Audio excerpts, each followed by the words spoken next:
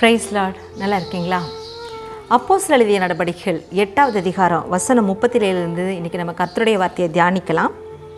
இயேசு கிறிஸ்துவை தேவனுடைய குமாரன் என்று விசுவாசிக்கிறேன் என்று சொல்லி எத்தியோப்பியா மந்திரி பிலிப்பு கிட்ட சொல்கிறார் அதாவது அந்த ஏசாய தீர்க்க தரிசன புஸ்தகத்தை பிலிப்பு பாஸ்டர் வந்து சொல்லி கொடுக்குறாரு. இதில் இதை தான் சொல்லியிருக்கு இயேசுவை பற்றி சொல்லியிருக்குன்னு சொல்லும் பொழுது அதை இந்த எத்தியோப்பியா மந்திரி அக்செப்ட் பண்ணிட்டார். ஓ அப்படியா? இதுதான் உண்மையா? அப்படிங்கிற அந்த சத்தியத்தை கேட்டதுனால அவருக்குள்ள ஒரு புரிதல் உண்மையான புரிதல் வந்தது. அது என்ன அப்படின்னா இயேசு கிறிஸ்து யாருன்னா தேவனுடைய குமாரன் அப்படின்னு நான் நம்புகிறேன் அப்படின்னு அவர் ஏற்றுக்கொண்டது நிமித்தமாய் அவருடைய வாழ்க்கையில் ஒரு அற்புதம் நடந்துச்சு. அது என்னென்னா அந்த நிமிஷத்திலே அவருடைய வாழ்க்கை வாழ்க்கையில் உலகத்திலே யாருக்கு கிடைக்காத ஒரு விஷயம் என்னன்னா அந்த ரட்சிப்பு. அது எல்லாத்துக்கும் உடனே கிடைச்சிறது கிடையாது. அது ஆண்டவர் அப்படி உண்மையாக நம்புறவங்களுக்கு ஆண்டவர் அந்த ரட்சிப்பை இலவசமாக கொடுக்குறாரு.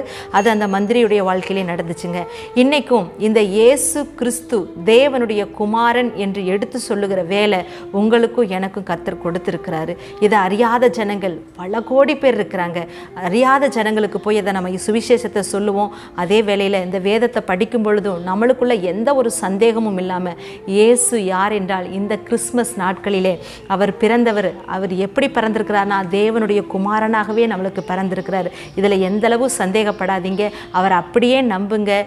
உங்கள் வாழ்க்கையிலும் அதிசயம் நடக்கும். பிலிப்பு சொன்னதை ஏற்றுக்கொண்டு அன்னைக்கு எத்தியோப்பிய மந்திரியுடைய வாழ்க்கையில் ஒரு ரட்சிப்பு வந்தது போல உங்கள் வாழ்க்கையிலும் நீர் அப்படியே ஆண்டவரை ஏற்றுக்கொள்ளும் பொழுது இயேசுவ தேவனுடைய மகன் என்பதை ஏற்றுக்கொண்டு நீங்கள் செபிக்கும் பொழுது உங்கள் வாழ்க்கையிலும் அற்புதங்கள் அடையாளங்கள் நடக்கிறதுல சந்தேகம் இல்லை. நீங்கள் சந்தேகப்படாமல் கர்த்தரை நம்புங்க.